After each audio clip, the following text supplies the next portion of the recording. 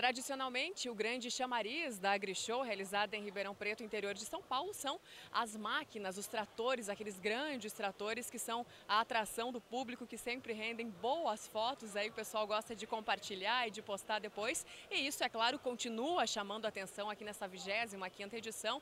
Só que, além disso, a preocupação maior das empresas que expõem aqui, esse ano são mais de 800 marcas, é de levar tecnologia, solução tecnológica para o campo e isso acontece através dessas novas plataformas. Só que a gente sabe que existe ainda um grande gargalo na agricultura que é a questão da internet. Existe muita tecnologia, as pessoas estão pensando em muitas soluções, só que a internet ela continua sendo uma restrição no campo e isso acaba barrando aí que algumas coisas possam acontecer de uma maneira mais eficiente. Por isso aqui no espaço da Deere este ano, eles estão trazendo a conectividade rural, que é justamente aí para atender esse gargalo. É isso mesmo, Maurício?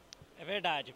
Uh, sempre tivemos esse problema de como conectar as máquinas ao escritório, como coletar informação de maneira mais rápida e mais assertiva para o produtor. Nós temos as plataformas aí que fazem toda essa conexão do campo com o escritório, das informações da própria máquina e das informações agronômicas.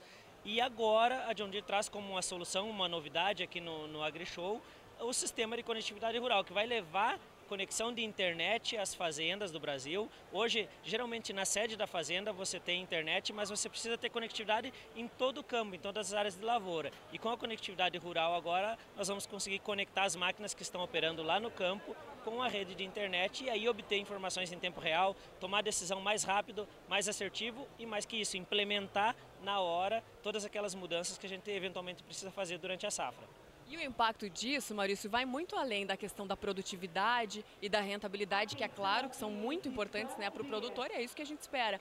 Mas isso também atende aí um outro gargalo da, do agronegócio brasileiro, que é a questão da sucessão familiar. Né? Os jovens, para ficarem no campo, eles querem essas tecnologias, eles estão se preparando para isso e a gente precisa então que esses gargalos aí, que são parecem pequenos, mas que tudo acaba se esbarrando nisso, que eles sejam resolvidos de alguma forma, né? Com certeza, a conectividade rural também vai impactar nisso, porque uma vez que a máquina leva a conexão de internet para o campo, você vai poder se conectar de todas as formas possíveis, com tablets, computadores, celulares, lá no campo mesmo. E aí a, a, essa nova geração ela está sedenta por isso, porque você precisa de informação, você precisa fazer uma pesquisa rápida acerca de uma situação que está acontecendo ali no campo, você se conecta, faz a tua pesquisa, toma a tua decisão e com certeza isso é um atrativo a mais para essas novas gerações que precisam de informação na palma da mão e de maneira muito rápida.